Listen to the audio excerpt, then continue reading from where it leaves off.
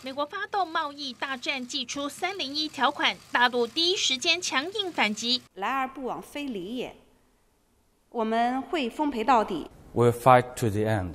但崔天凯稍后放软态度，强调有诚意缩减贸易逆差。川普不光是卯上大陆，甚至被形容对全球发动无差别攻击。针对进口钢铝的加征关税，虽然暂时豁免澳洲、加拿大、欧盟等国到五月一号，短短四十天要谈出让美国满意的方案。比利时总理米歇尔比喻，美国就像用枪指着贸易伙伴的头，令人难以接受。然而，也有德国媒体主张，欧盟应应该。避免激化跟美国贸易争端，而是跟美国联手向大陆争取平等待遇。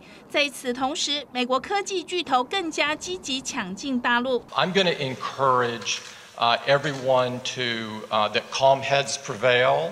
北京的发展高层论坛，苹果、谷歌、IBM 执行长都不敢怠慢，亲自出席，要跟大陆当局建立良好关系，并加强跟当地业者的合作，找寻出路。记者钟万超、潘建仁报道。